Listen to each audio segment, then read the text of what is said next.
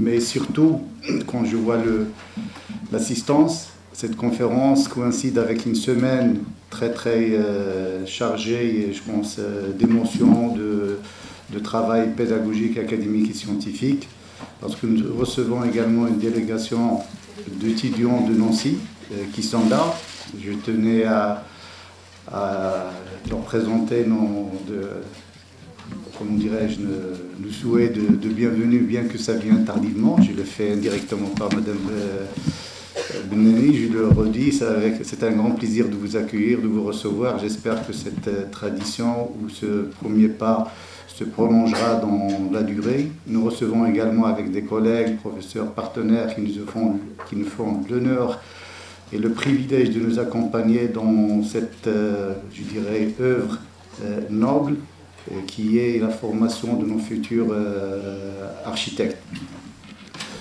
Je, vois également des collègues que je rencontrais, donc je revois ici, donc c'est toujours avec grand plaisir et une grande émotion.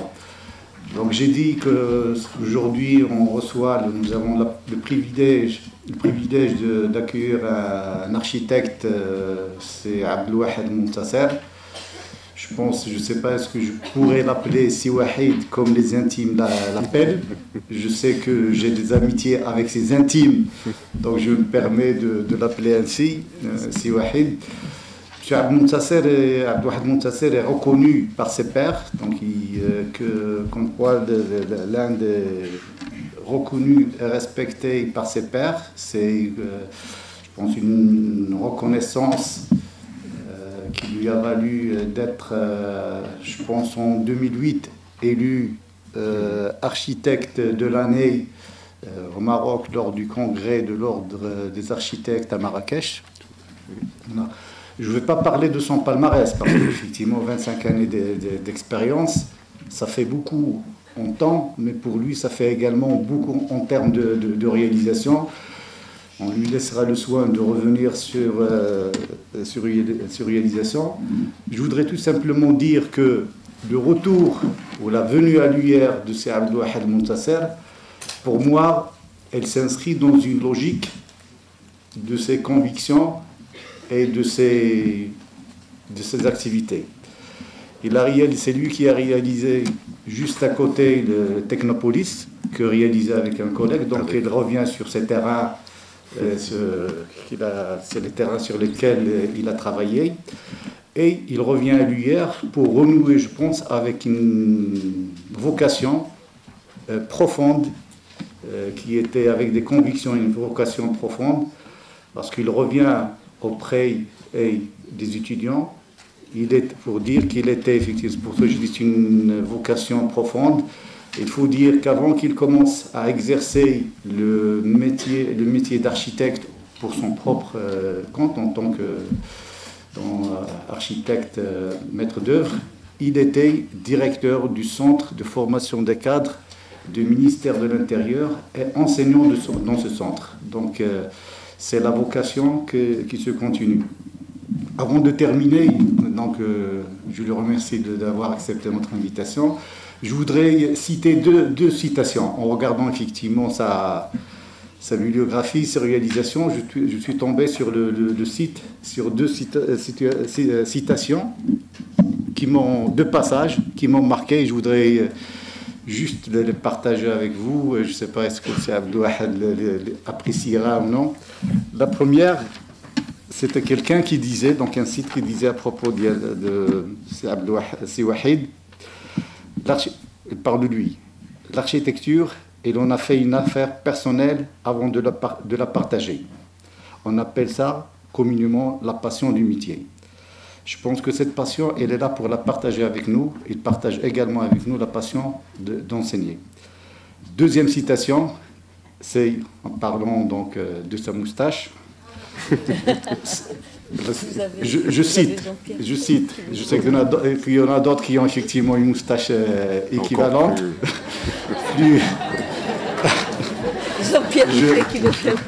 je, cite, je cite la citation, il parle de Abdelwahid Montasser. Sa moustache bien entretenue et son sourire en coin, en coin présage déjà ce que Edmond Rostand avait écrit à propos de Sergiano de Bergerac. Tous les mots sont fins quand la moustache est fine. À nous les mots fins de Saad euh, Siwahid. Merci beaucoup d'avoir accepté notre invitation.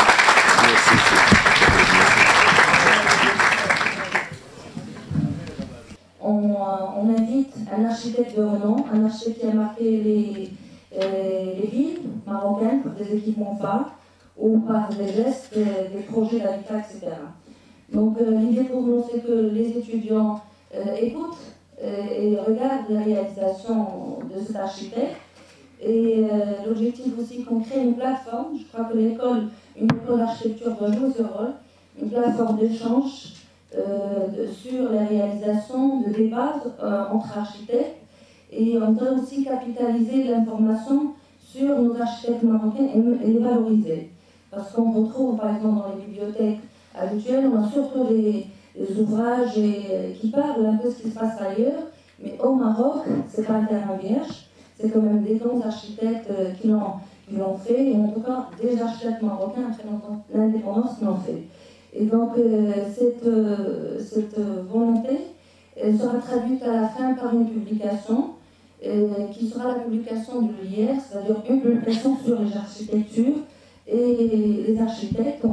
ceci étant dit, ce n'est pas fermé pour les Marocains. On a aussi invité d'autres architectes, notamment des écoles partenaires. Euh, on aura ce mois-ci à Safati le 29 avril, etc. Donc avant de vous donner la parole, M. Montasser, je vais, juste euh, brièvement vous euh, présenter une particularité peut-être que on ne savait pas, c'est que M. Montasser était un artiste. C'était un artiste peintre avant de décrocher le titre d'architecte. Il a participé à de nombreuses expositions au Maroc et à l'étranger. Et c'est peut-être d'où la sensibilité et euh, la particularité de sa réalisation. Il est de retour à Casa. Il a occupé le poste de fonction directeur, comme a dit Sylvain, euh, d'enseignement centre de formation cadre technique au ministère de l'Intérieur. Et puis, euh, il, ouvre euh, sa son cabinet, il travaille avec euh, des cabinets, que ce soit à des architectes marocains ou à l'étranger. Et il a remporté plusieurs concours d'architecture, notamment avec ses cabinets, donc la Bibliothèque nationale du Royaume, le pavillon de la Méditerranée pour les expositions universelles 2010, la CNSS pour l'identité visuelle de la société en 2000, du Parti d'aménagement global de Vallée de Baudelaire, de la Régie des tabacs, et puis euh, d'autres, euh, comme par exemple le concours pour la, construction des locaux de la RAM, etc. Donc euh, il est, j'espère qu'on aura le plaisir d'avoir un aperçu, je sais qu'on n'aura pas tout le temps de tout voir, mais on est avide d'informations. Je voulais aussi rappeler qu'il est actuellement, c'est le président du Conseil national des architectes au Maroc. Donc, euh, à vous la parole, M. Montasser, pour euh, nous faire découvrir.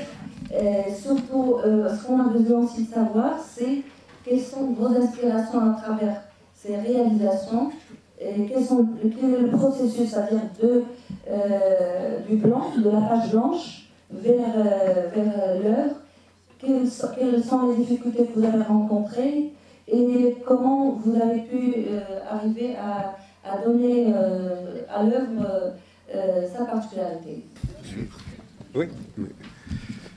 Euh, merci Madame Benani, merci Sehmed de cette présentation.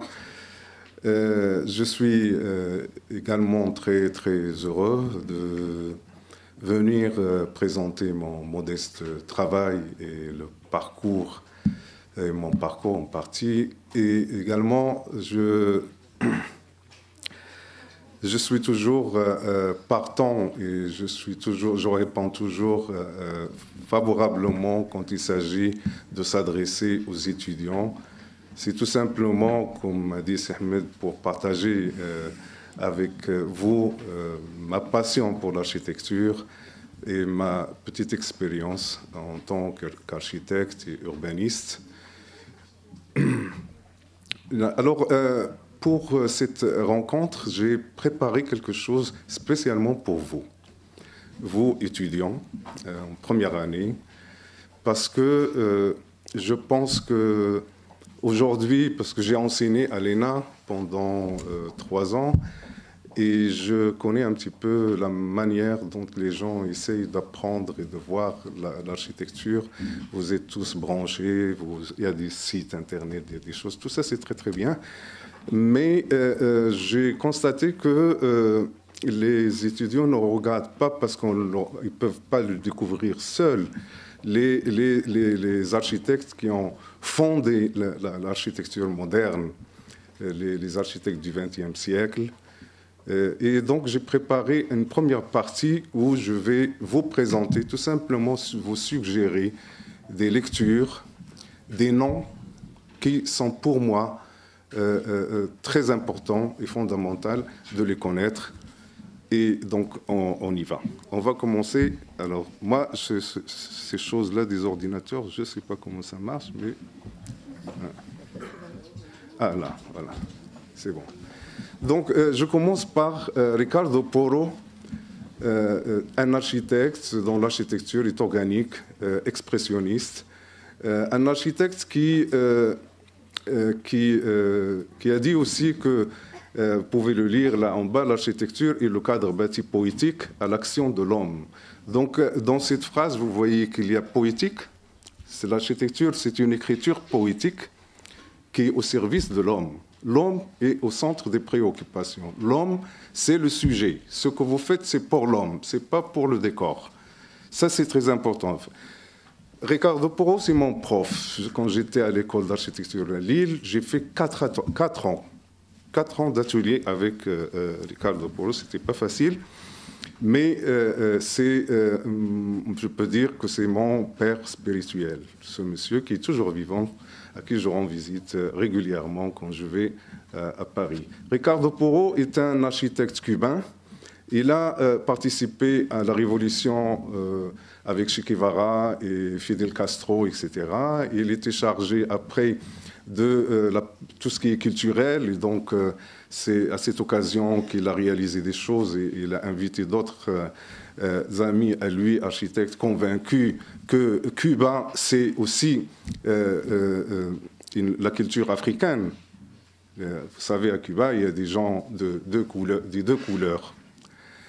La négritude, et puis lui-même, il est le produit de, parents de nationalités différentes, etc. Donc, il était sensible à cette dimension culturelle de l'architecture. Et c'est la raison pour laquelle euh, euh, que, ce qu'il a produit pendant cette période, parce qu'après euh, que l'URSS à l'époque a mis la main sur Cuba, donc ils l'ont traité, lui et les autres architectes, comme des petits architectes bourgeois. Et donc, il était presque interdit de séjour, et donc il a quitté Cuba, il est allé à Paris vivre euh, comme il nous disait, j'ai choisi le cœur du capitalisme, j'ai choisi Paris, et donc il vit toujours, il travaille euh, à, Paris. Ça, c'est euh, une esquisse de l'école de danse à Cuba. Vous voyez un peu ces volumes, cette force qui se dégage de. Et là, c'est l'école des beaux-arts, l'école d'art à, Cuba également, qui pour lui, un bâtiment, il doit bien entendu répondre à la fonction, euh, mais euh, un bâtiment, c'est aussi un village. Euh, il, a, il a dessiné ses, projets. J'ai pas mal d'images et des choses, etc. Mais je, veux aller vite parce que c'est long ce que j'ai préparé. Apparemment, on n'a pas beaucoup de temps. Parce qu'il faut savoir lire les plans. Quand vous regardez un projet, allez voir le plan d'abord. Et après, vous comprendrez le, le volume. Euh, c'est encore l'école de danse qu'on a vu en croquis. Euh, et, vous remarquez comment euh, il, a composé ces, écoles villages, ces écoles monde. C'est un monde dans un environnement où il y a une espèce d'osmose entre le bâtiment et le, Ça, c'est une, une, image aussi de l'intérieur de l'école de danse, avec ses dômes, avec ses, euh, ces verrières, euh, bon, je ne raconte pas ce qu'il dit, lui, de tout ça, parce que euh, c'est un peu osé. ça, c'est l'une des réalisations qu'il a fait en France, c'est le Collège Sergi France. Donc, pour ces architectes, tous, ce que, je vais vous présenter, l'architecture pour eux est une écriture. Elle porte un sens. Une architecture doit parler, doit communiquer, doit euh, transmettre un message. Une architecture ne peut pas se contenter juste du côté fonctionnaliste de, et, de euh, répondre à un programme. Et voilà euh, mon enfance à Casablanca, euh, où j'ai découvert cet objet qui était à l'entrée côté océan de la foire des expositions à Casablanca, qui malheureusement a, disparu. Il a été démoli. On ne sait pas pourquoi. Tout ce que je sais, c'est qu'on n'aime pas, les officiels n'aiment pas les choses renversées ou obliques ça ne les intéresse pas du tout. Je vais vous raconter des choses dans ce sens plus tard. Et, c'était magnifique. Ça, c'était le pavillon à l'entrée, le pavillon de Casablanca, la ville de Casablanca. Et euh, on avait regardé des images, des projets, des choses sur, euh, à l'intérieur de cette euh, pyramide renversée. Comment ne pas être sensible à l'architecture quand on a vécu, quand on a pénétré des lieux de ce genre? C'est absolument euh, magnifique. C'est dommage que cette chose, mais heureusement, on a encore les photos. Zevako est un, euh, architecte dont le, pays n'a pas euh, suffisamment profité. je vous le recommande. ça, c'est encore l'aéroport, l'aéroport de, de Tetmelil, qui est l'œuvre de Zevako avec quelqu'un d'autre. et vous, vous, voyez un petit peu cette cette tension, ce mouvement, on dirait que c'est... Et c'est ça, c'est une chose importante de connaître aussi la poésie, l'écriture. Je travaille beaucoup avec des poètes, je travaille avec des, écrivains, et parce qu'on a des démarches similaires. Et quand vous voyez, par exemple, un, un poète qui écrit une phrase et avec les mêmes mots que tout le monde utilise, mais seulement il donne euh, à travers cette, phrase une beauté à la chose, quelque chose de, merveilleux. Ces architectes-là, ce sont des poètes de l'espace. La villa Luisa, où il y a Paul aujourd'hui à Casablanca. Et on passe à un autre, un autre euh, Danois, euh, Alvaro, Alvar Alto, où l'osmose entre l'architecture et la nature, ils sont déjà, eux, très sensibles à la nature, au travail du bois, la brique. Euh, et ce sont des architectes qu'on a presque un peu oubliés, mais qu'il faudrait revisiter. Encore, euh, l'Université de technologie de Helsinki On comprend que, euh, euh, y a un amphithéâtre derrière tout ça. Il y a une forme et l'expression de la fonction aussi. Et euh, on passe à Oscar Niemeyer. Oscar Niemeyer, que vous connaissez certainement. Oui, bien sûr, parce que c'était notre doyen il y a quelques mois. Il est mort l'année dernière.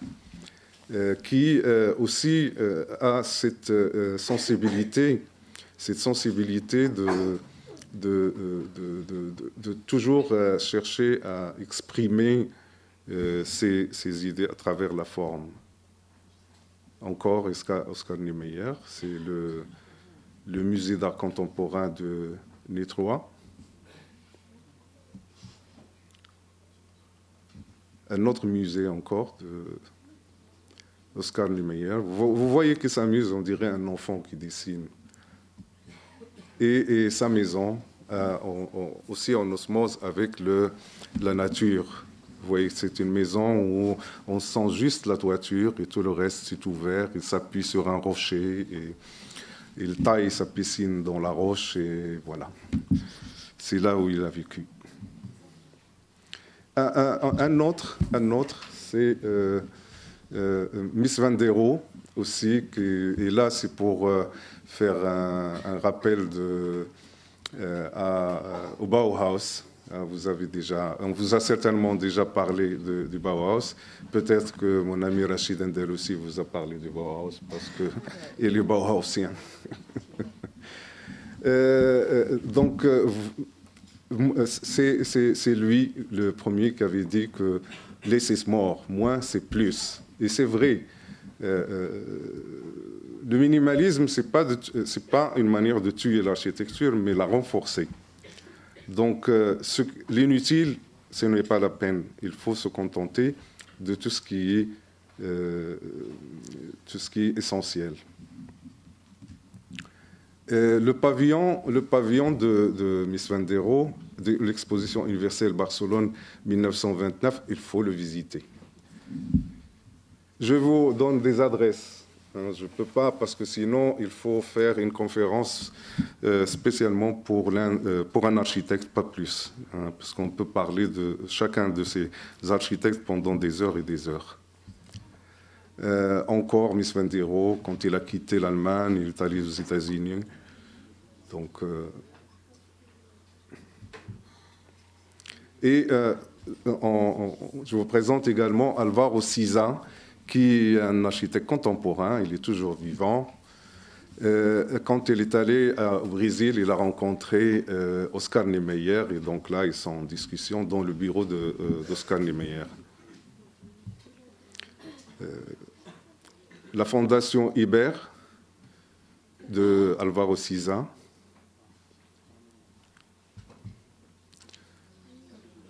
Encore le pavillon d'exposition de Lisbonne, et vous voyez cette feuille-là, qu'on euh, a l'impression que c'est une feuille de papier ou bien c'est un tissu, c'est du béton. C'est formidable, cette tension. Cette, euh, Et encore une fois, parce que quand j'ai euh, donné des cours à, l'ENA, je parlais beaucoup de, de Alvaro Siza. Alvaro Siza, son, son ingrédient, c'est le mur blanc. C'est le mur blanc, le bois, et c'est tout. Pas plus et c'est un prix Pritzker, il a gagné tous les prix. Mais son architecture il est d'une richesse extraordinaire. Quand on voit un projet, on se dit, bon, c'est ouais, bon, simple, c'est blanc, mais, mais, quand on le regarde bien, on voit qu'il y a euh, beaucoup de recherche et beaucoup de, de poésie. C'est une piscine de Alvaro Siza à Barcelone le musée Memsis et des logements. Évidemment, je ne peux pas euh, présenter euh, sans parler des architectes sans parler de euh, Frank Lloyd Wright, que vous connaissez aussi, qui a parlé de l'architecture organique Dernièrement, j'ai rencontré un, architecte d'intérieur et puis il m'a montré ce qu'il a fait avec des courbes et des choses comme ça. Il m'a dit oui, c'est pour faire une architecture organique. L'architecture organique, c'est pas la courbe. L'architecture organique, d'après Wright, c'est lorsque l'élément est à l'ensemble, comme l'ensemble est à l'élément. C'est ça. Euh, il n'a pas souvent travaillé avec la courbe, mais qu'avec la ligne droite. Et la fameuse villa qu'on appelle la villa de la cascade, c'est la, maison Kaufmann, qui, euh, est un hymne à la nature et euh, une, intégration dans le site, euh, quelque chose de magique. Ça aussi, si vous avez la possibilité, il faudrait aller le visiter. Et enfin, le Guggenheim, le musée d'art contemporain de New York, que vous avez certainement vu sur des, images. Là aussi, c'est des choses qui, franchement, il faut. Et je vais finir par euh, euh, mon préféré, moi, c'est personnel, c'est Louis Kahn. Louis Kahn, pour moi, c'est euh, le plus grand architecte du XXe siècle.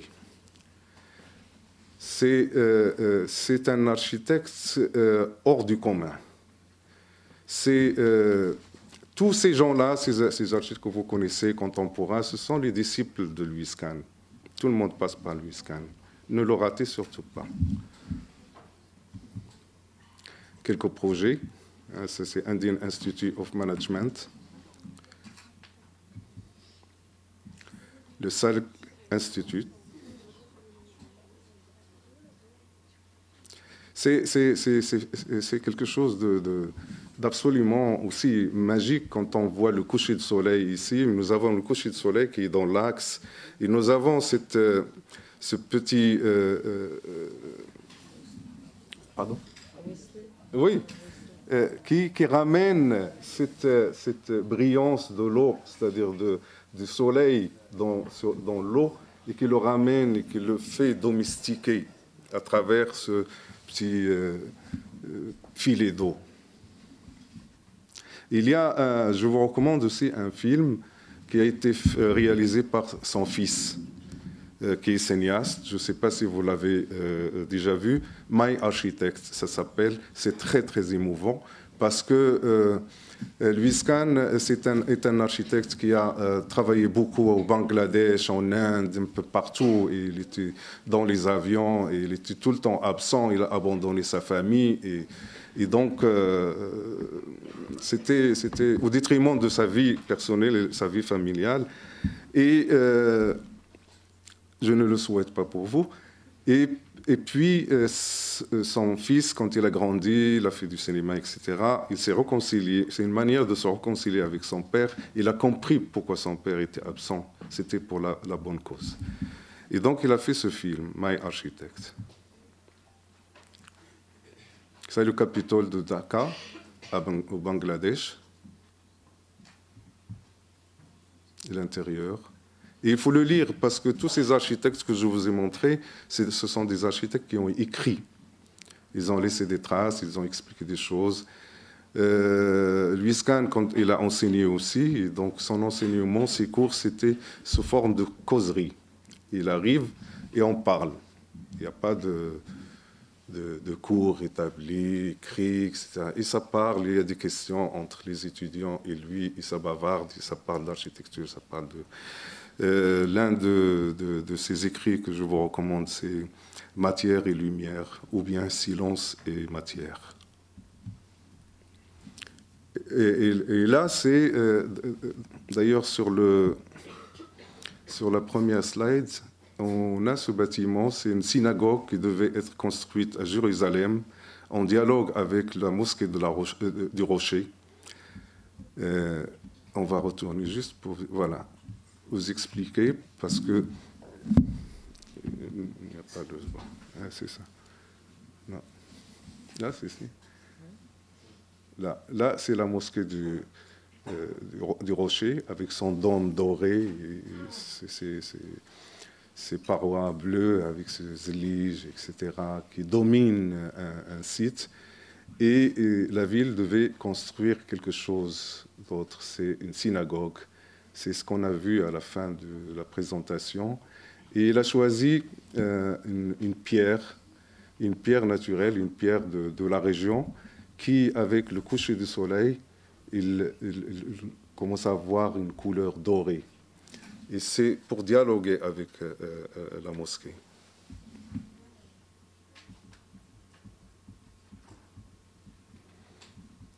Ça, c'est l'intérieur. Ce n'est qu'une maquette, hein, c'est une photo de maquette, c'est l'intérieur de cette synagogue qui est, absolument quelque chose d'étonnant. Étonnant. Étonnant du fait que, euh, comme vous voyez là, il a, il a une architecture pour un intérieur non couvert, où il y a des failles, il y a des fentes, euh, où l'air circule, et toute la salle de prière et tout ça, c'est en contrebas. Et euh, là, on va commencer euh, à voir un peu mon modeste travail. la Bibliothèque nationale, que c'était un concours que nous avons gagné, Rachid Nderossi et moi-même, et comment ça a été fait ce, projet? Et là, on vous avez certainement remarqué que je n'ai pas parlé de Le Corbusier parce qu'on vous parle souvent de lui. Puis bon, euh, c'est fait sciemment. C'est ce concours. Nous avons euh, visité le site. On a été, on, on passait souvent euh, en voiture et on laissait la voiture, on marchait, on regardait, on a essayé de comprendre un peu le site. Et là, pourquoi je pense à Le Corbusier? Parce qu'il avait dit qu'il faut savoir écouter le génie du lieu.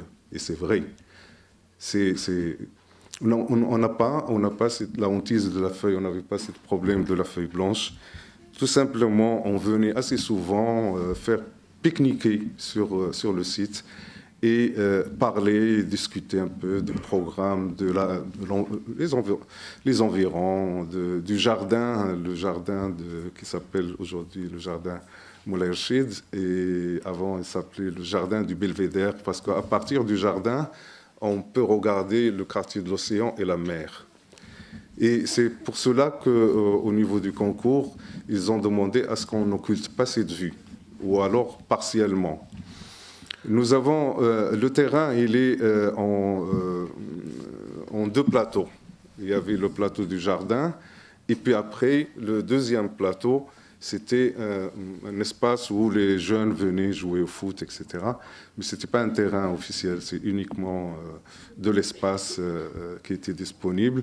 Et, donc, avec ce, jardin, ces lignes d'arbres et tout cela, nous avons pensé que c'était euh, quelque chose qu'il fallait euh, intégrer dans le projet, que le projet, c'est aussi bien le jardin que le reste, et que la toiture de la bibliothèque soit la continuité du, jardin, que ce ne soit pas une barrière.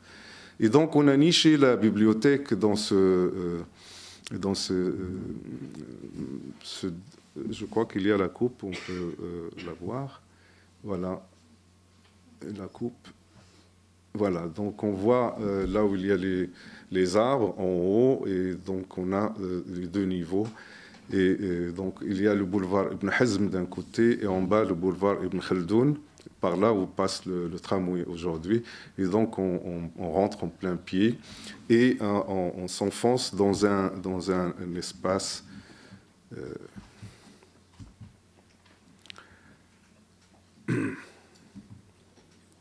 Euh, euh, lorsqu'on on, travaillait sur le concours, bon, évidemment, il y avait toute une équipe avec nous qui nous, soutenait, euh, des jeunes architectes, des dessinateurs, souvent que des jeunes architectes. Et puis, à, quelques jours avant le, rendu, ils nous réclamaient les façades. Ils disaient, monsieur, les façades, les façades, vous ne nous avez pas donné les façades, il faut nous donner les façades. On dit, il n'y a pas de façade. Il n'y a, rien, il n'y a pas de façade, il y a un volume, euh, il y a euh, une, organisation, et c'est tout. Euh, comme vous voyez là, donc la Bibliothèque nationale, on va voir les allées du jardin, du jardin du Belvédère. Nous les avons pris et nous les avons continués à l'intérieur du bâtiment pour faire la circulation qui va relier qui va relier le corps des administrations autour de ces patients, en haut, la rue intérieure qui euh, distribue les techs, les techs qui sont au milieu, et puis nous avons un jardin à Riyad, et puis après la, salle de lecture euh, de euh, l'ensemble. Et au fond de, de, cette rue intérieure, nous avons donc la tour du savoir. C'est là où on a les, livres rares et les manuscrits. Je crois qu'on va aller vite au niveau de la bibliothèque parce que vous l'avez déjà vu. Et donc là, on avait euh, quelque chose comme euh, à peu près deux hectares sur cet îlot et il fallait faire un, projet. Donc euh, l'idée, c'était de... Au cabinet, on, en a fait des logements sociaux, on en a fait beaucoup. Depuis le, projet de Nassim à Casablanca, c'était Marouf, et, euh, et d'autres. Et euh, avec l'expérience, évidemment, on commence à comprendre. Parce qu'il fallait qu'on dégage, que je dégage quand même des espaces de vie, des espaces de partage, des espaces pour la communauté, c'est-à-dire la place, le jardin, que ce soit un jardin, et non pas un espace résiduel, parce que je ne sais pas quoi en faire, et je dis espace vert. D'ailleurs, le mot espace vert, euh, s'il n'est pas euh, admis euh, au cabinet comme le logement. On, ne parle pas de logement, on parle d'habitation, parce qu'on loge un crayon dans un plumier ou dans une trousse, mais un être humain, on le fait habiter. De, ce fait, quand on parle déjà de faire habiter un, être humain, donc on pense déjà autrement. La chose devient sérieuse. Mais quand on raisonne en logement, c'est du numérique, souvent. Donc vous allez voir que là, euh, j'ai essayé de travailler sur euh, un, concept urbain de contraction et de dilatation. Contraction, et donc je densifie, je monte un peu en hauteur, quoique ce qui est admis, c'est R plus 4 en logement, mais là, on a du R plus 2, R plus 3, R plus 4, pour avoir un épanelage assez riche que la ville horizontale, c'est vraiment c'est la mort, il n'offre pas grand-chose. Là, ce qu'on a cherché, c'est de donner une identité à ce, à ce projet. Je ne dirais pas quartier parce que ce n'est pas assez grand. Et de euh, lui donner aussi les attributs de euh, euh, l'espace public, à savoir la rue piétonne, la, place, le jardin, les jardins domestiques, c'est-à-dire que, que, quelques habitations partagent à l'intérieur de l'îlot, et le jardin public, et puis des cheminements. Et la voiture est restée autour de, de, projet et ne rentre pas à l'intérieur, sauf la possibilité aux sapeurs-pompiers de, de, pénétrer. Voilà euh, le plan de masse, comment on voit les choses. C'est euh, euh, la, distribution de ces logements, de ces habitations, il se fait par le biais de passerelles. Et ces passerelles qu'on voit là entre les, masses, c'est des, choses qui permettent à chaque logement d'avoir un accès qui donne sur l'extérieur. Il n'y a pas d'obscurité, il n'y a pas la cage d'escalier. Il y a des escaliers où les gens, les gens peuvent emprunter des deux extrémités de chaque, euh, chaque unité de vie. C'est-à-dire chaque, chaque masse que vous voyez, c'est une unité de vie où euh, il y a quelques escaliers, il y a des passerelles où on passe. Et quand on ouvre sa porte, eh bien, euh, euh, c'est à l'air libre. Donc il y a une bonne ventilation des, des, maisons sur le plan de l'hygiène, c'est important. Et on verra encore tout à l'heure que chaque habitation a une petite terrasse comme un sas entre la passerelle et la porte d'entrée où les gens peuvent s'asseoir, discuter, on a l'habitude de mettre des petits pots avec des fleurs, avec des, choses comme ça. Et c'est un espace qui... Euh, et tout ça en respectant les surfaces euh, imposées par le, programme. Là, on voit, les, ça c'est un, projet qui est en cours de, réalisation un, peu modifié. Euh, on voit là les passerelles et comment les gens circulent à l'intérieur de ces unités de vie. Euh, autre chose, c'est euh, aussi, euh, vous voyez qu'il y a deux types de, fenêtres. Ces, deux types de fenêtres sont dimensionnés, bien sûr, par rapport à la surface des pièces, parce que c'est le règlement, mais également par rapport à la dimension des profilés d'aluminium qu'on achète. le profilé, il fait 6 mètres. Donc les dimensions correspondent à un multiple pour qu'on n'ait pas de chute. Il n'y a pas de chute, il y a zéro chute. Ça fait de l'économie et ça fait moins de pollution.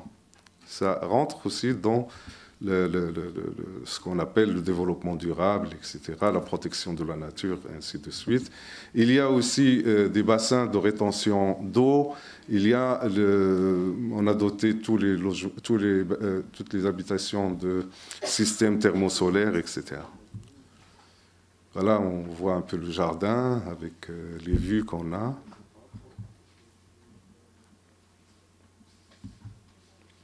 Et on arrive à un autre projet que vous connaissez parce que ce n'est pas loin d'ici. C'est le, siège central du parti de l'Esterlal qui était aussi un concours.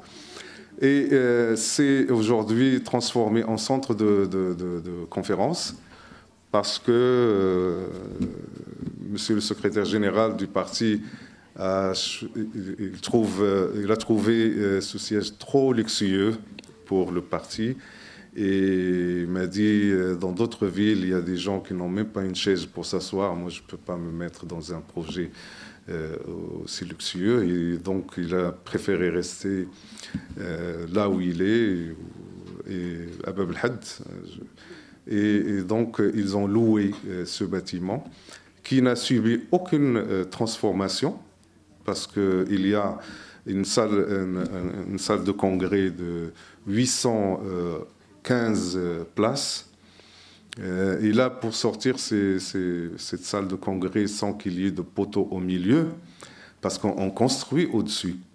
il fallait faire appel à des technologies, faire une prouesse technique avec les ingénieurs, et nous avons réussi à faire des portiques. C'est des portiques, et donc c'est plutôt le, toit, de la, salle de congrès, plus les étages qui sont au-dessus, ils sont plutôt tirés par une espèce de poutre qui fait presque deux mètres de, retombée qu'on ne voit pas, et euh, donc euh, libérer la salle de ces contraintes. Euh, ce projet a été aussi travaillé en pensant à tout ce qui est ventilation naturelle, lumière naturelle, et, l'utilisation minimum, minimale de euh, l'énergie euh, électrique. Euh, pourquoi, pourquoi c'est fermé de côté de la voie rapide, la voie, là, je ne sais pas s'il est, est, rapide ou pas, mais c'est parce qu'il y a trop de bruit. Il y a du bruit il y a euh, aussi le démarrage des bus et des, voitures parce qu'il y a un feu rouge juste à côté et c'est très très bruyant. Donc nous avons choisi d'avoir une protectrice qui, euh, ferme euh, ces, ces, espaces parce qu'ils sont ouverts sur le côté. Et évidemment, avec cette forme un peu comme un livre, donc il s'est présenté comme une double page d'un livre ouvert, et il fallait écrire quelque chose, et donc euh, euh, j'ai mis ces petits triangles qui rappellent aussi l'architecture du Sud, et parce que le parti de l'Istiklal, c'est le parti de tous les Marocains. C'est pas seulement le parti de Fès ou de Mknas, mais c'est aussi de l'Ayoun, d'Akhla, Agadir, etc. Il est partout.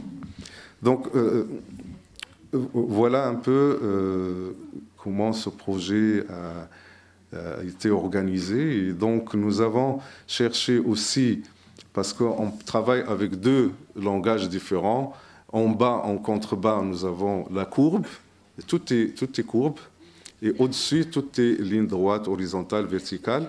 Et donc, il fallait une transition entre les deux. Donc, nous avons laissé un vide entre les deux. Si vous visitez, vous allez le, euh, remarquer.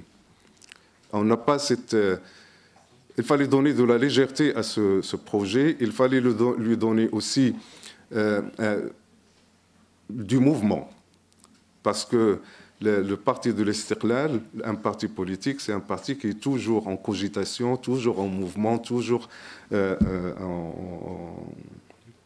en agitation et donc, on n'a pas l'impression de ce poids qui est posé sur la salle de congrès. On a cette euh, légèreté des volumes euh, euh, dans l'ensemble.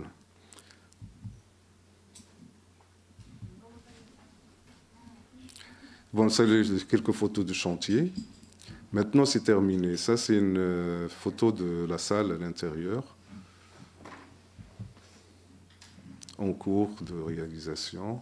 Ça, c'est la faille intérieure qui sépare les deux, les deux, les deux volumes et qui permet euh, cette ventilation naturelle et, permet à la, lumière de pénétrer à l'intérieur.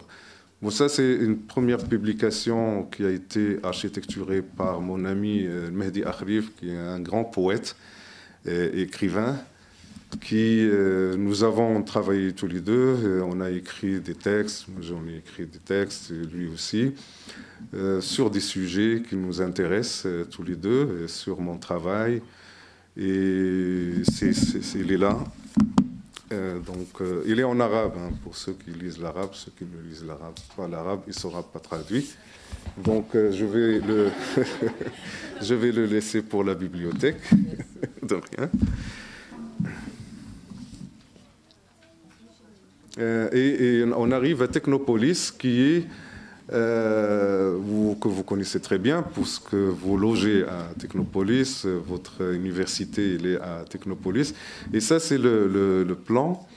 Euh, le premier plan, le master plan, euh, c'est un travail que j'ai fait avec mon ami Omar Alaoui, qu'il faudrait inviter un jour, parce qu'il travaille sur de grands, grands projets. C'est un type qui est très, très, très bien. On s'entend merveilleusement bien. Et il a été chargé de faire Technopolis du côté de Tmara, mais bon, le terrain était assez grand, etc. Et là, bon, ils ont trouvé ce terrain.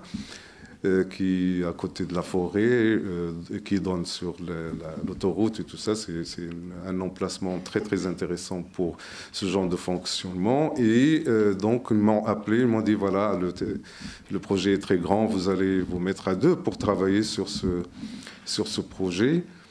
Et ce qu'ils voulaient au, au départ, c'est de faire euh, cette euh, ville technologique sous forme de campus à l'américaine, avec des cours, avec des choses. Et j'ai dit, euh, j'ai dit à Omar, écoute, c'est ça, c'est quelque chose normalement qu'il faut que ça soit, que ça soit tramé, qu'il ait un sens et de c'est de la, haute technologie, etc. Donc il m'a dit, ah, tu sais, Wahid, ça va pas marcher, hein, ils vont refuser. Je dis, bon, on prend le risque et on fait. Donc euh, on a fait ce projet de cette manière qui, aujourd'hui, il n'y a plus que la moitié, l'autre moitié, vous l'avez occupée. Donc l'axe central que vous voyez là, il est fermé aujourd'hui par l'université mais avant, ce qu'on avait, euh, on avait cet axe central, mais on avait sous l'axe central toute une galerie où une voiture peut circuler, où tout ce qui est technique passe par là. Ça n'a pas été réalisé, bien sûr. Euh, et puis nous avons organisé euh, en petits quartiers, c'est-à-dire là où on a démarré, donc avec un centre de vie, les cafés, les restaurants, les boutiques, etc. Puis euh, le quartier où il y a une némothèque, c'est aussi euh, une, espèce de quartier avec tout ce qu'il faut, et ainsi de suite. Donc il y a quatre centres de vie, parce qu'il y a des milliers et des milliers de gens, normalement, qui étaient prévus de vivre, de passer la journée euh, dans cette ville, et donc il fallait la proximité des services. Comme nous avons proposé qu'il y ait à l'intérieur, parce que c'est une ville fermée, des vélos blancs à la disposition des gens pour qu'ils se déplacent euh, librement et sans euh, prendre leur voiture pour ne pas polluer euh, l'atmosphère.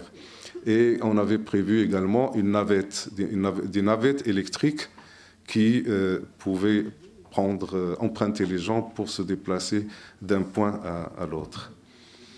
Euh, voilà, donc, euh, sans trop de commentaires, euh, les, premiers bâtiments qu'on avait réalisés. Et donc, après, ils nous ont demandé de continuer. Donc, on a continué. Ces, ces, ces bâtiments très parallépipèdes, comme un rempart de la ville. C'était l'idée, c'est d'en faire un rempart de la ville. Donc c'est pour ça qu'ils sont identiques. Nous avons un, autre projet qui est en stade d'autorisation qui est complètement différent, mais qui répond à la fonction aussi.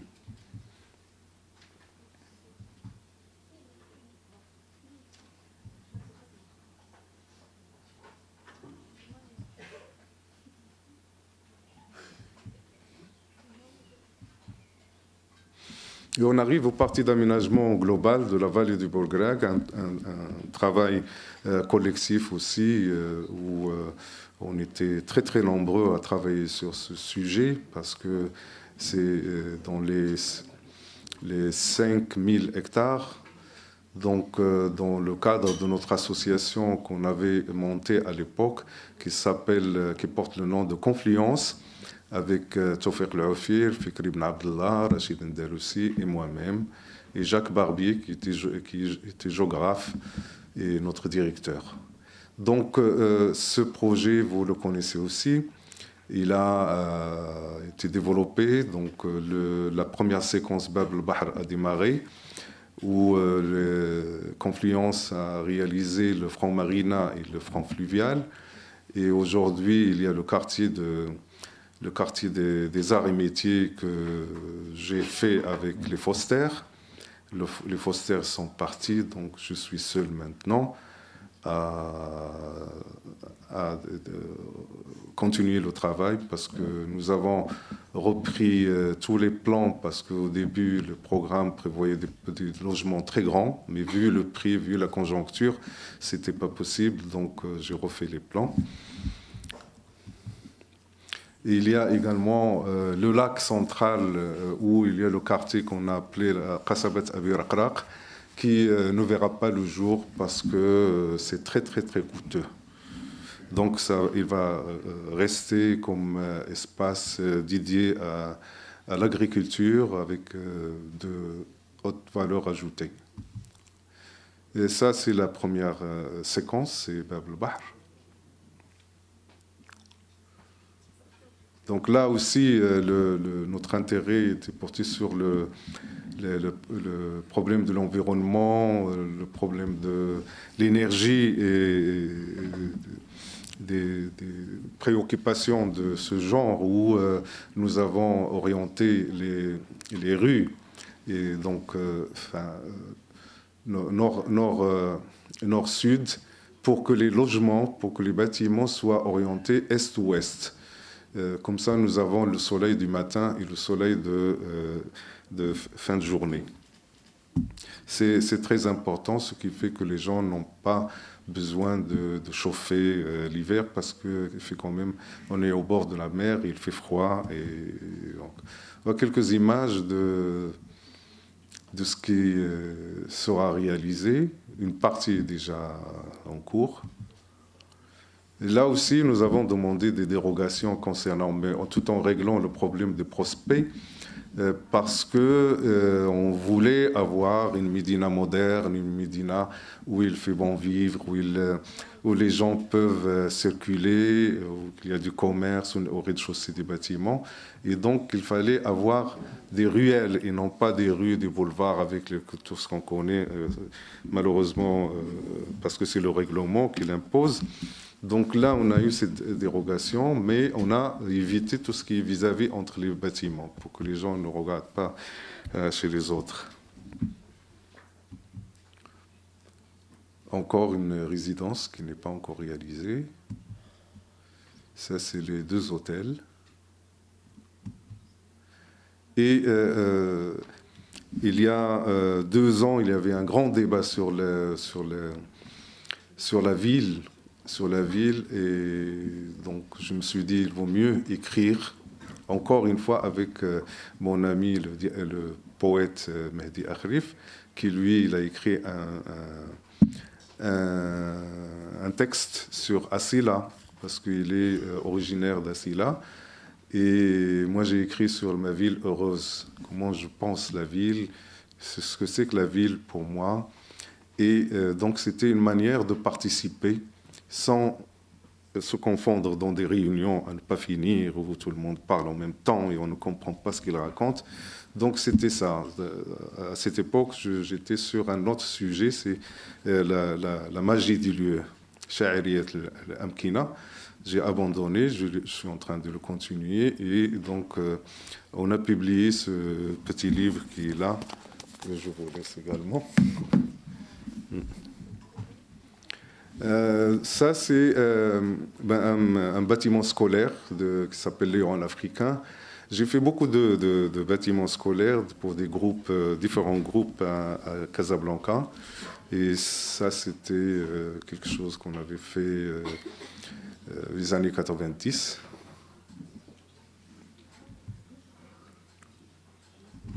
Là aussi, c'est un bâtiment scolaire, c'est un collège et, et lycée Léon l'Africain Rabat, qui est en cours d'études techniques. Et là également, vous voyez, c'est ce que je cherche, c'est de ne jamais avoir un bâtiment euh, avec une hauteur euh, euh, ou un bloc euh, complet. C'est toujours une imbrication de volume, de matière, de lumière, de, du végétal, des terrasses végétalisées, euh, une composition comme, comme, une écriture, ce que j'ai dit au, au départ, l'architecture est une écriture, la ville est un roman où chaque génération vient écrire un chapitre, une page, et ainsi de suite. C'est comme ça que les choses se font.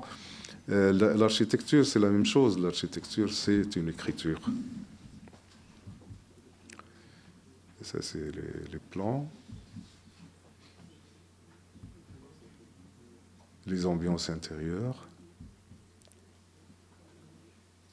Les bâtiments du sport. Et là, c'est un autre euh, euh, projet aussi scolaire où il y a euh, le primaire, le, collège, le lycée et, la maternelle.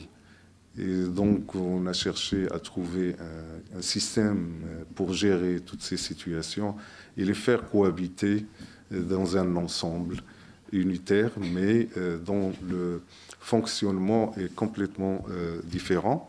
Vous voyez ces branches, ces espèces de doigts, et donc chaque doigt correspond à un niveau, c'est-à-dire le collège, le lycée, l'école primaire et la maternelle.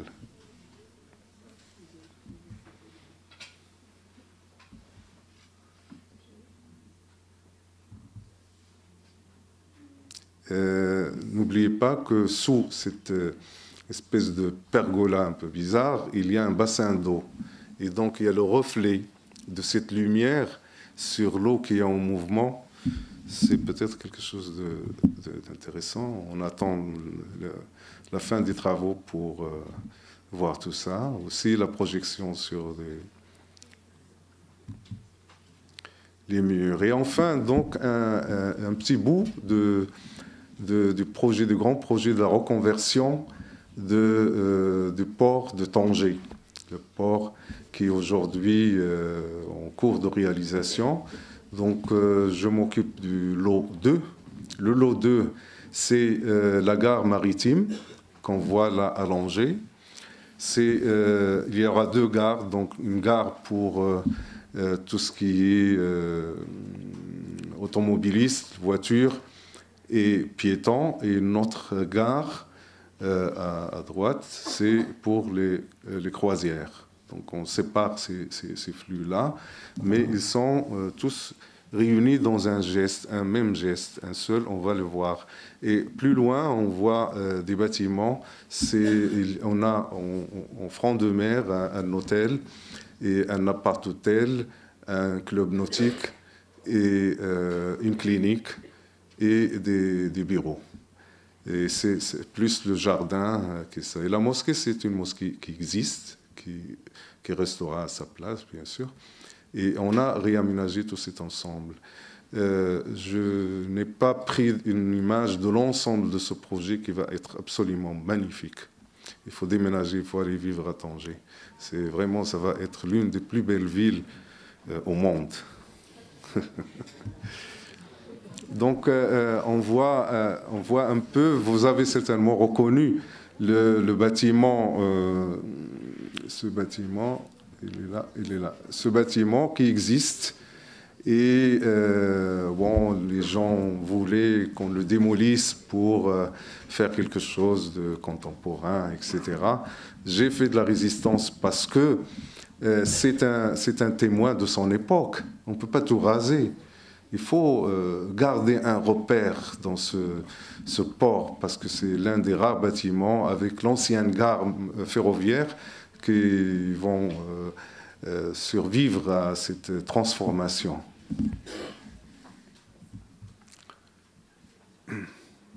Ça, on voit de l'arrière. Voilà le, projet.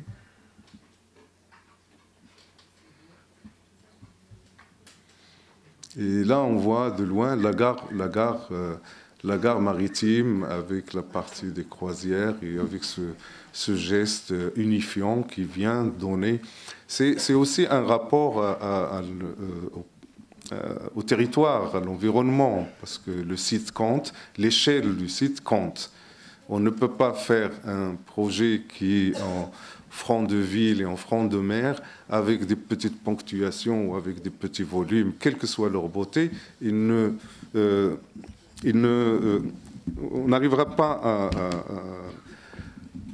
à, travailler, à répondre à l'échelle de, ce territoire.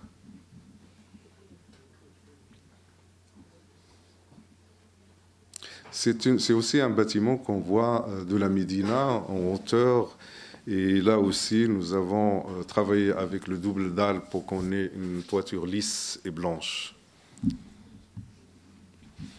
Ça, c'est un concours qu'on a gagné aussi. C'est euh, la gare de Meknes. La gare de Meknes, bon, euh, la, problématique, c'est qu'il y a une, gare actuelle, une petite gare qui, qui date de l'époque du protectorat et euh, je vois qu'on démolit de plus en plus et qu'on ne euh, garde plus de. C'est-à-dire, euh, il y a des, bâtiments qui ont une valeur patrimoniale, mais on ne fait pas du tout attention à ces choses-là parce que c'est un héritage, c'est une richesse, il faut la garder. Et donc, pour Meknes, j'ai pris le risque de garder le bâtiment, malgré le désir de, du maître d'ouvrage plutôt euh, et puis des gens de, la ville euh, ils veulent avoir quelque chose de, de, moderne où il y a un geste où il y a quelque chose etc mais bon euh, finalement et d'ailleurs ici présent Monsieur le secrétaire général de l'Ordre national des architectes, autrefois qui était président de l'Ordre, et il était membre du jury. Il a assisté à ce débat, qui était un débat un peu houleux, parce qu'il n'admettait pas qu'on garde un, ancien truc comme ça. Et on l'a gardé, on le gardera, et on, ira jusqu'au bout. Donc ça, c'est le plan de masse, parce qu'à euh, il y aura deux gares, sud et nord, puisque la ville s'est développée aussi de l'autre côté de la voie ferrée. Et le tout est relié par une passerelle euh, euh, urbaine où il y a du commerce et où il y a une vie. C'est une rue en hauteur où on peut se balader. Donc ça, c'est le plan. Encore une vue. Une vue des quais. Et là, c'est la façade côté ville où on voit à l'intérieur ce bâtiment ancien, voyez, avec des petits percements, etc. Et pour pouvoir le voir, parce qu'on a quand même une façade vitrée, euh, il fallait l'éclairer. Donc euh, la toiture du nouveau bâtiment ne touche pas cette gare. Il y a une verrière entre les deux qui laisse passer la lumière pour l'éclairer pour qu'on puisse le voir, qu'il participe à la composition de l'ensemble.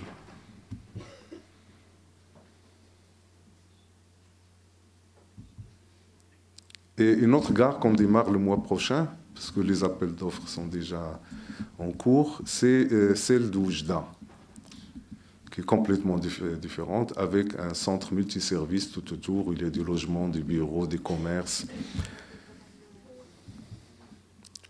C'est le plan de masse. C'est une terminus, hein, la gare d'Oujda.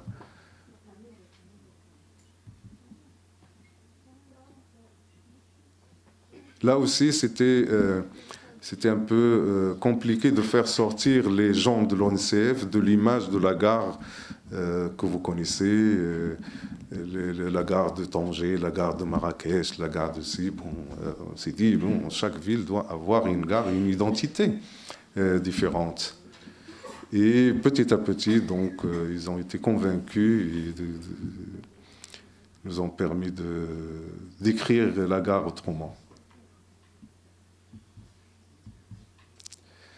Et je pensais euh, ramener aussi un, exemplaire de ce euh, livre que j'appelle Ville Périphérie, mais il ne sortira que la semaine prochaine. C'est promis, je vous enverrai un exemplaire.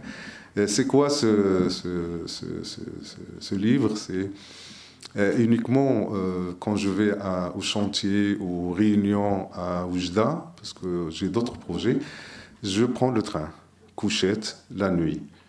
S'il part à 9h, 21h le soir de Casablanca, il arrive à 7h du matin pile. Il n'a jamais de retard. Et euh, donc les couchettes individuelles, c'est extraordinaire, c'est un monde.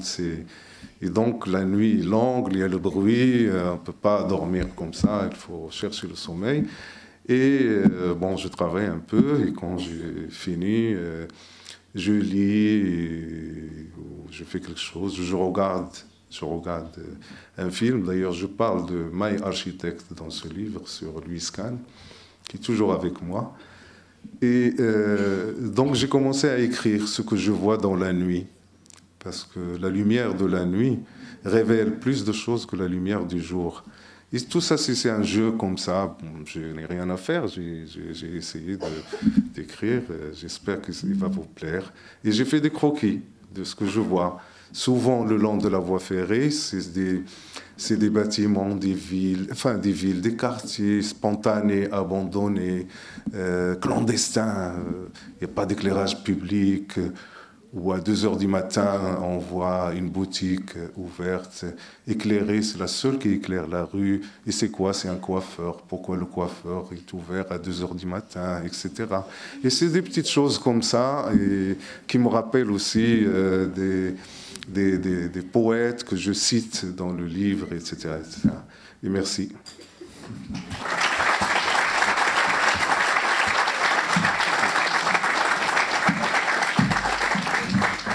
Merci beaucoup, euh, M. pour euh, ce riche exposé et pour euh, ces messages et ces conseils qui sont très utiles et précieux pour nos étudiants.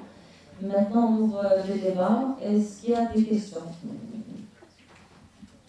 Tout d'abord, je, vous remercie de, votre présence. ma question, c'est pour les logements sociaux. On trouve toujours des, des blocs sans, particularité architecturale.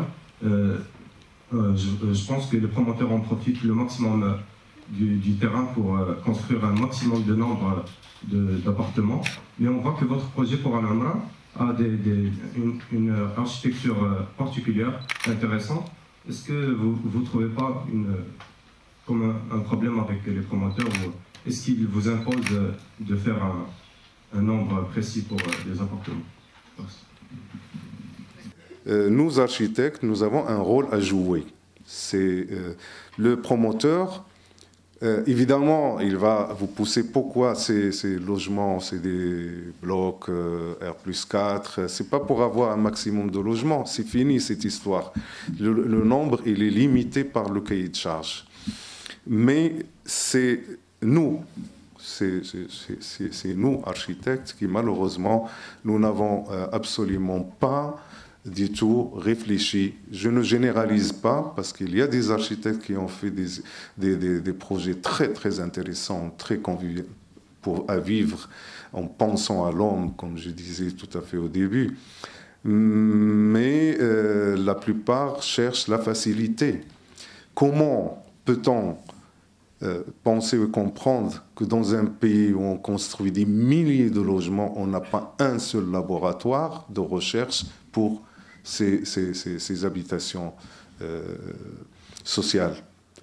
Il n'y a pas de, on, on ne capitalise pas, il n'y a pas de publication, il n'y a absolument rien. Je vais vous dire plus que ça, c'est que tous ces, on va parler logement, tous ces logements sociaux qu'on construit au Maroc, ce sont deux types d'appartements, comme si tous les Marocains se ressemblaient et ils ont une même configuration, clonée.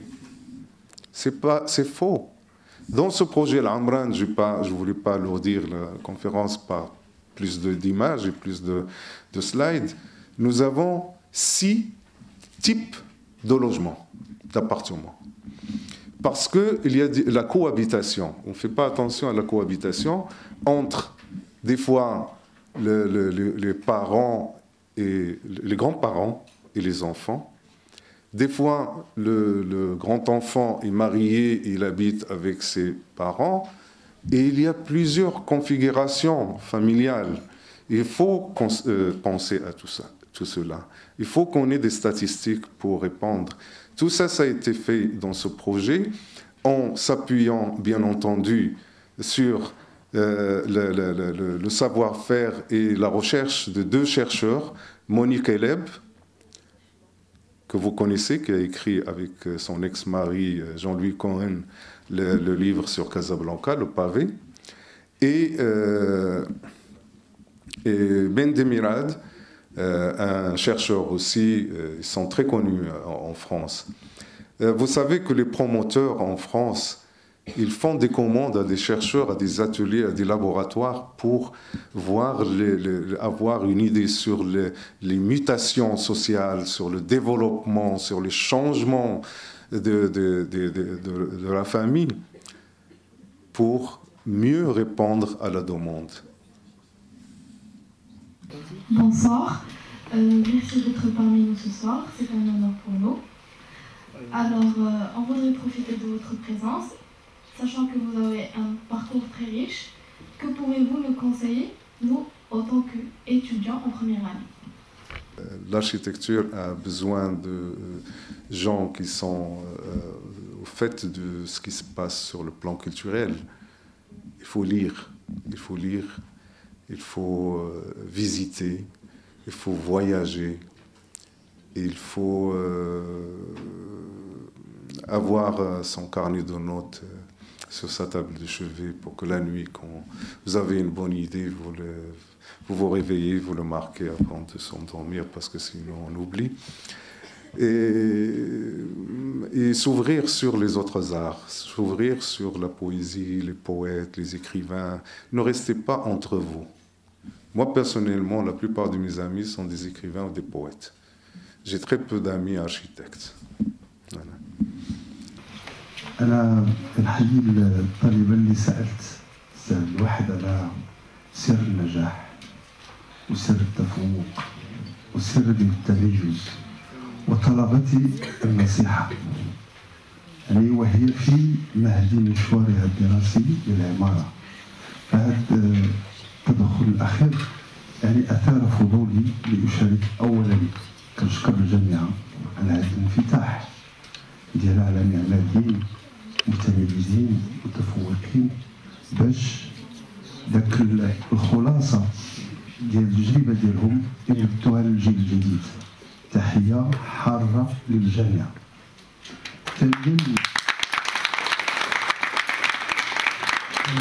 أنا بغيت نعطيها كيف عرفت السي وحيد؟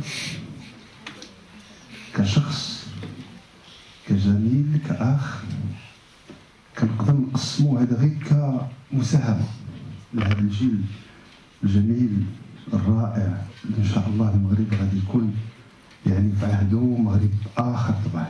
يعني كاستمراريه واستدامة لهذه الجهود اللي كاين لهذا الجيل الحالي سبب الواحد المنتصر الإنسان قليل ما يتحدث وقلة الحديث عنده يعوضها بكثرة العمل والتأمل والتحليل وأحيانا وفي كل مرة يسائل.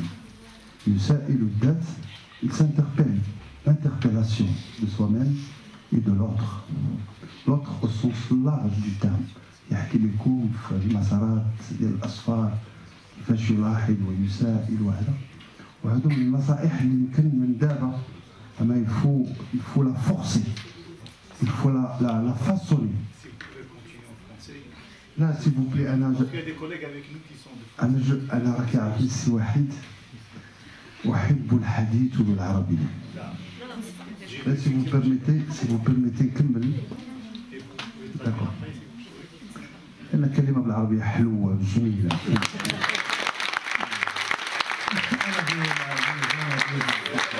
أنا قاعد في هذه القضية والله النصيحة النصيحة ما جيتوش ولليقين. ولليقين ما جيتوش للعمارة يعني من باب الصدفة أو من باب قدر السعر الواحد ملي كتقرأ المسار ديالو كتلقى فيه بعد الإنسان الفنان الشكيلي بداية وقالتها السيدة المديرة ومن بعد المعماري ككاتب في العمارة وكاتب بالكلمة فهو شخصية والسؤال ما قبل الأخير un architecte ne peut pas imposer sa conception et sa lecture et sa, sa manière de voir et de percevoir l'espace s'il n'a pas une forte personnalité. Abdelwahed, il est de cette ligne. Et bravo, parce que si vous constatez le chaos de nos villes, parce que malheureusement, les confrères avec le statut que nous avons, l'architecture autant que produit de société, et l'architecte n'a pas une base solide, juridique, qui peut l'aider à défendre sa conception jusqu'au bout. Et vous connaissez les enjeux, vous connaissez les lobbying de ce sens. C'est un parmi les rares architectes qui arrivent à aller, c'est pour cette raison qu'il vous conseille de faire de sport pour ne pas être absent. Parce que pour les promoteurs et tous les acteurs, c'est l'architecte. Autant que maître de scène, s'il est absent, c'est terminé. Donc tout, le glissement de la conception, de la composition, il y a ce vraiment euh, des figures. Je conclus et insiste sur le façonnage de la personnalité. هو قوة متجددة وعنيد كنعرفو عنيد ولكن العناد ديالو كيعوضوا الانفتاح وختمها على رجالة les hommes de l'art, de la culture, des éléments qui constituent un gisement et une source d'inspiration. Parce que l'architecture, c'est pas les dessins, c'est pas les déboîtements, c'est pas les volumes, c'est pas l'infographisme. L'architecture, c'est le génie de l'idée d'abord, l'inspiration. Et مستميت في الدفاع عن مواقفي ورأيي وأتمنى لكم ذلك وشكرا. Je suis rentré au Maroc dans les débuts des années 2000, 2000-2001, et j'ai eu beaucoup de chance à côtoyer et travailler avec Siad Mountasser à travers Confluence. On a eu, si vous vous souvenez bien, une belle charrette à Barcelone à propos de la Weilbourg grecque. Donc, euh, à la différence de c'est Abdouahid Montasser qui me dit qu'il a en tête toujours le week-end, je peux vous dire que vous avez ici au Maroc aussi Abdouahid Montasser. Hein. On peut le rehausser au niveau du week-end marocain. Quand je suis arrivé au Maroc, en ayant travaillé un petit peu en Europe, j'avais la crainte de bosser dans ce pays, parce que tout simplement on n'arrêtait pas de nous raconter qu'au Maroc, bah, c'est toujours euh, les noms, c'est elle qui a les projets, c'est elle qui travaille, c'est elle qui...